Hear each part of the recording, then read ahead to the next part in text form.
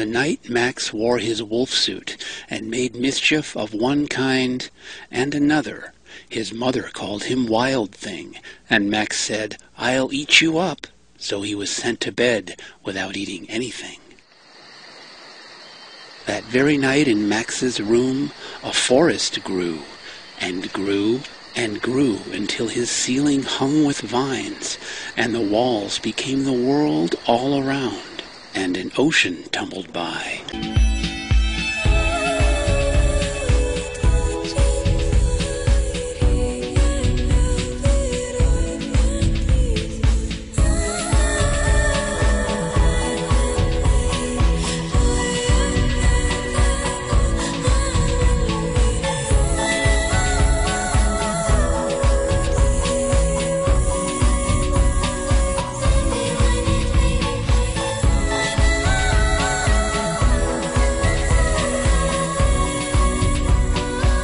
With a private boat for Max, and he sailed off through night and day, and in and out of weeks, and almost over a year to where the wild things are.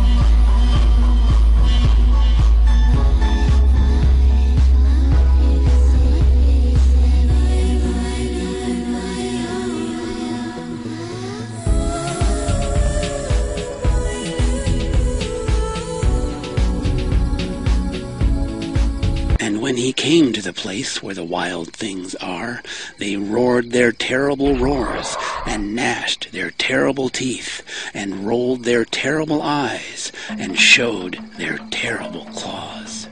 Till Max said, Be still, and tamed them with the magic trick of staring into all their yellow eyes without blinking once, and they were frightened, and called him the most wild thing of all and made him king of all wild things.